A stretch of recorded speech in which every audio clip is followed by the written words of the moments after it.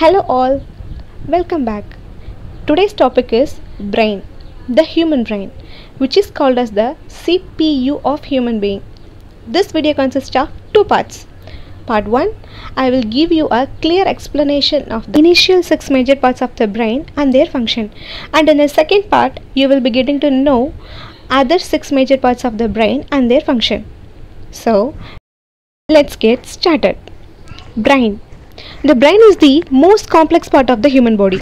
This three pound organ is the seat of intelligence, interpreter of senses, initiator of body movement, and controller of behavior. And it is the crown jewel of human being.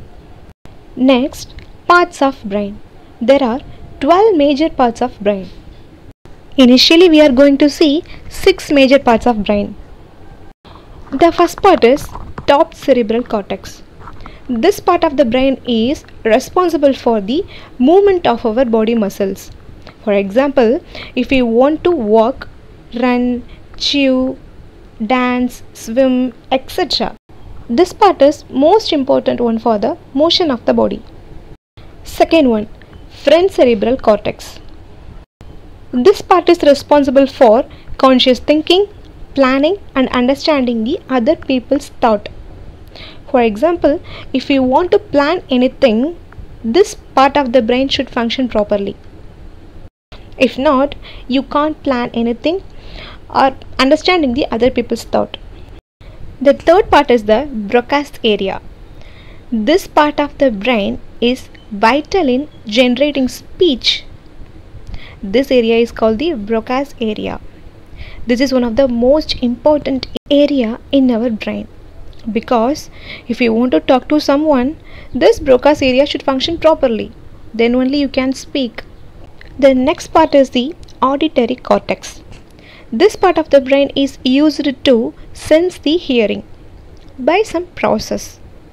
Nerve signals from the ears come to the auditory cortex which help us to recognize the sound. By this process only we can hear the sound. Here comes to the next part somatosensory cortex. This area is responsible for feel the touch. If anyone touch, pinch, beat, kick, anything, you can feel only by this cortex only. So, you should know how it works. Touch processing part.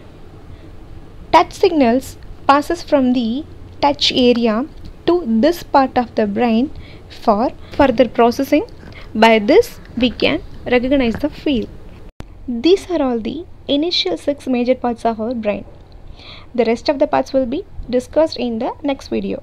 Stay tuned. Your Shanmugapriya. Take care.